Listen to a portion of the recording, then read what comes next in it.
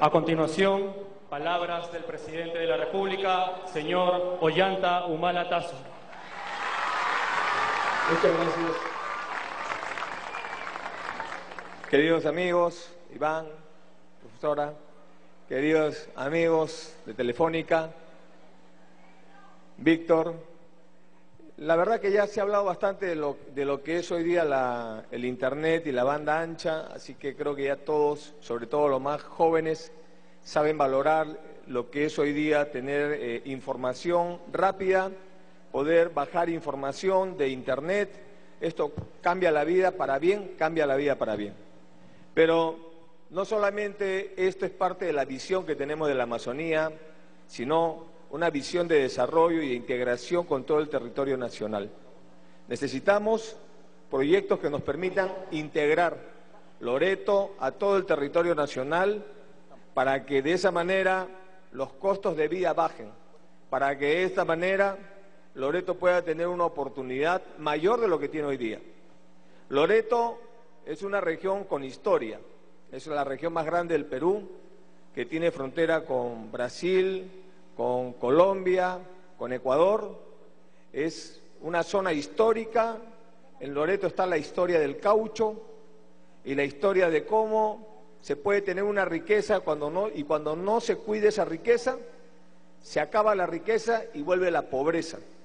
Como fue Loreto en la época del caucho, era pues la perla del, Perú y sin embargo cuando se acabó el caucho todo quedó de vuelta a antes, a la pobreza, al olvido, al aislamiento de Loreto. Por lo tanto, la visión del gobierno coincide con la visión del gobierno regional para mejorar las condiciones de vida del pueblo loretano en su electrificación rural, agua y desagüe, en lo que es calidad educativa, particularmente en las zonas rurales, y este proyecto de banda ancha de mejorar la velocidad del Internet va a ayudar a mejorar la calidad de la educación. Los proyectos de salud también tenemos que trabajarlos.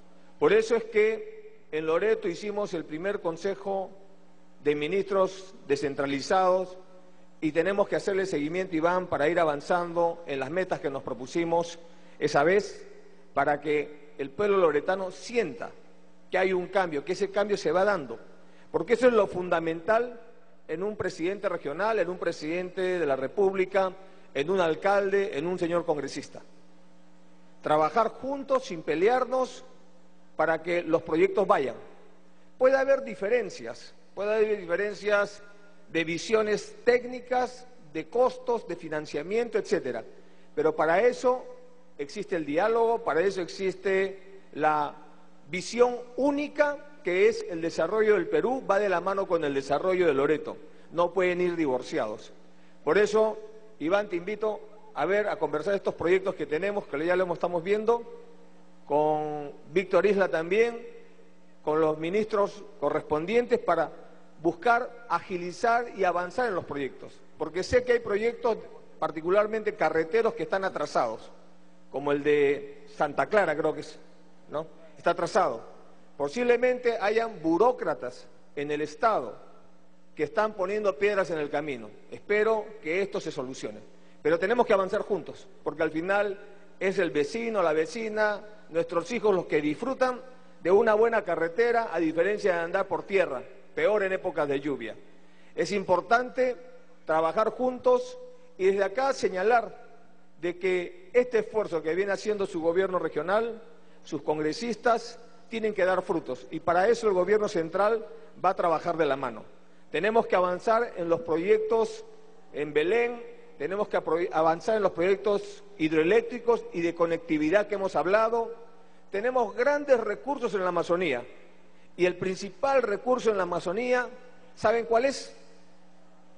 Ustedes, los chicos y las chicas que estudian, en este caso, las chicas del Sagrado Corazón, que, es el futuro, el futuro de Iquitos.